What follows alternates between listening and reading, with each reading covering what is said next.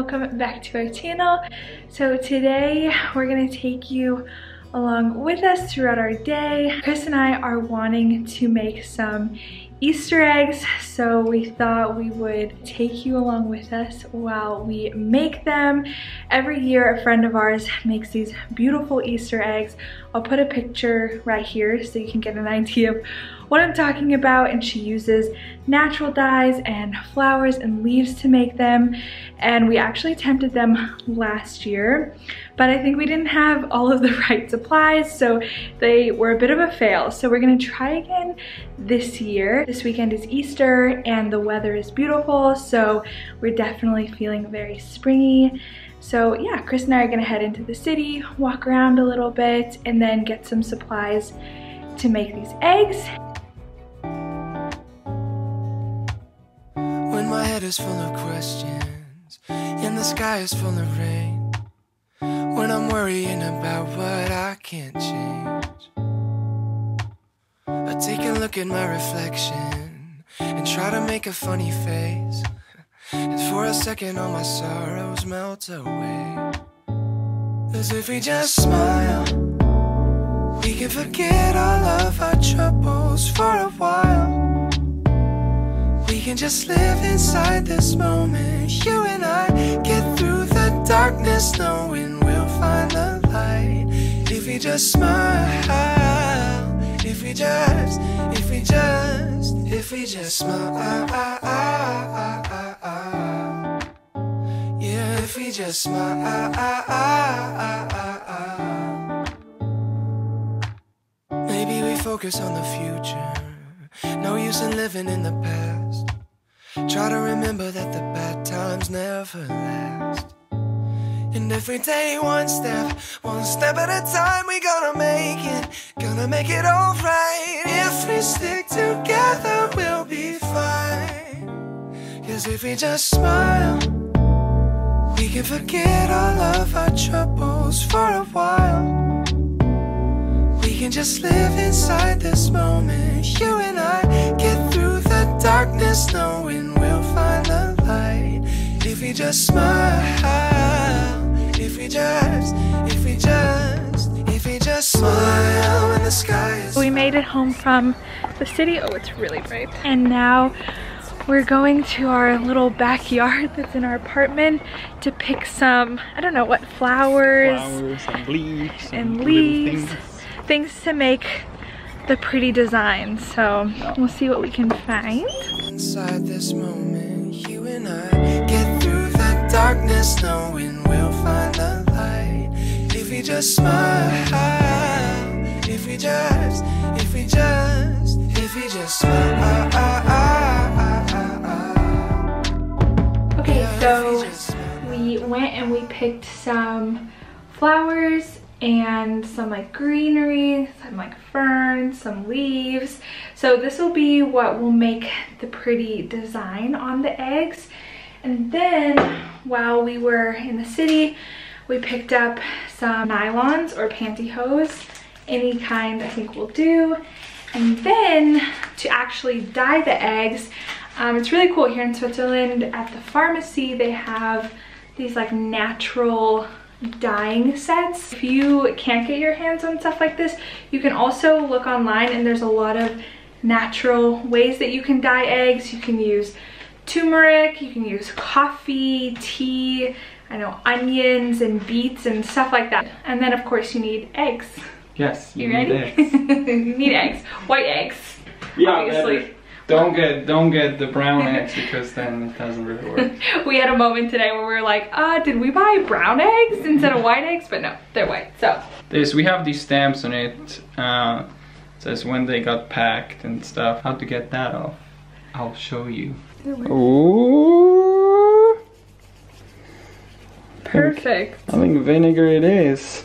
Also, it's important to get your eggs out of the fridge um, maybe a little bit before you cook them because um, then the possibility of them breaking in the water is a lot less.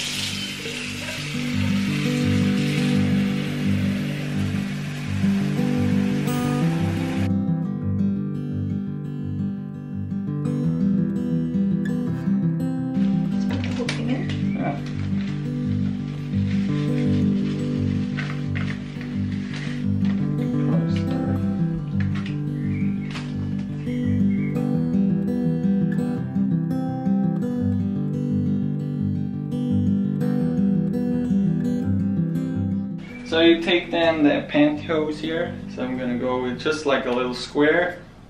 So then you take, so we have all these little flowers and stuff. Um, it would be good to wet it and maybe even use a little bit of soap because uh, the paint or stain is gonna stick better to the egg. So I just wash this egg.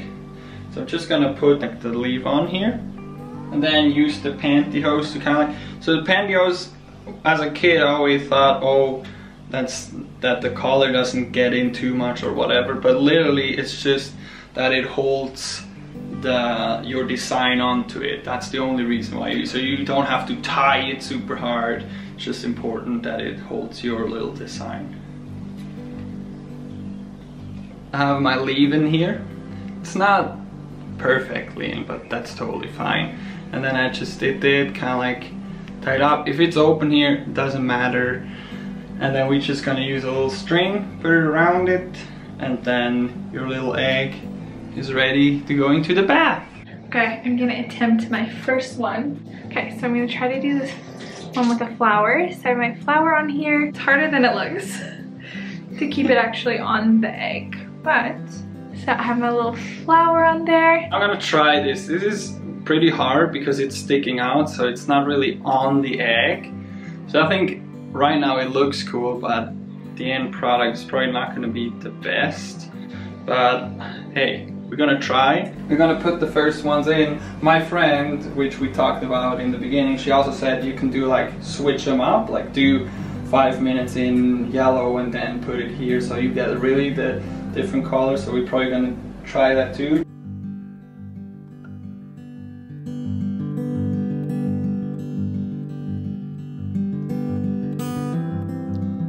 So now we're gonna boil the egg and you find you can find these uh, charts online with uh, how runny you still want the yolk but I mean they're gonna be like boiled eggs that we want to eat just like that. So we probably go for like the 10 11 minutes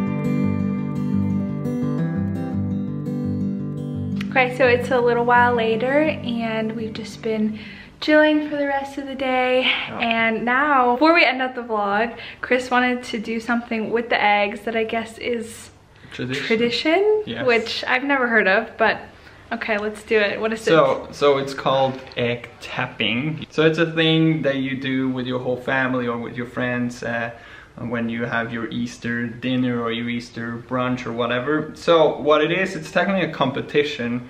So you each of your family or your friends choose an egg and then you smash them against each other and whichever breaks is the loser. And there's no like rules on like how you hit the egg? Yeah, you hit it like this. Oh, okay. On each other.